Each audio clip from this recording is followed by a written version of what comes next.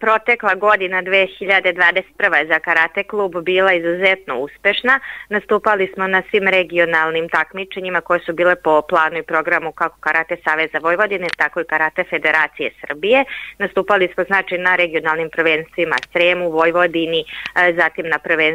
prvenstvu Srbije, takođe i na zvaničnim kupovima, a takođe smo uzeli učešće i na e, drugim međunarodnim turnirima u našoj zemlji, a zatim smo nastupili i e, na Balkanskom prvenstvu koje se održalo u oktobru mesecu u Poreču u Hrvatskoj. E, za reprezentaciju Srbije e, nastupilo je e, sedam takmičarki iz karate kluba Srem i ono što mi posebno imponuje da kažem jeste da smo osvojili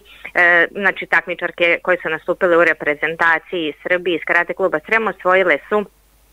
šest pedalja, od toga imamo e, tri balkanska šampiona, to su Anđela Perović i Irena Grujanić e, u svojim kategorijama i kata tim pionirke, isto u sastavu Mione Murić, Anđele Perović i Irene Grujanić, zatim vice šampionke su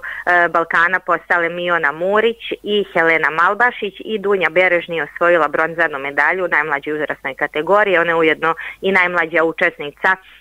ovih balkanskih igara koje su se održale jel, u Poreču, e, tako da je to jako veliki uspeh za Karate klub Srem da na jednom tako najjačem takmičenju tog nivoa e, imamo tako reći pet finala. Osvojili smo jel, tri zlata i e, dva srebra, tako da je to jedan od da kažemo najvećih uspeha koji smo do sada ostvarili.